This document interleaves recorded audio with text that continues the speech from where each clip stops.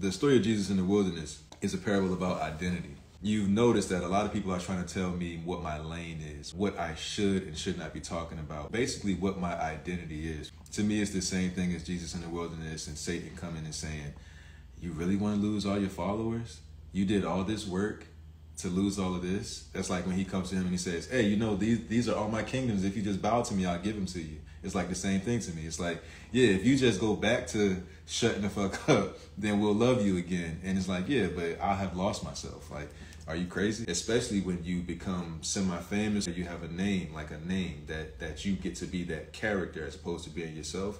People get lost in that identity the internet is filled with that. And, and and what happens is you become a slave to that identity because you have to continue to be that person in order to keep your livelihood your money your fame your success to continue to be somebody to people. A lot of people would get so wrapped up in that identity that they would be too afraid to lose it.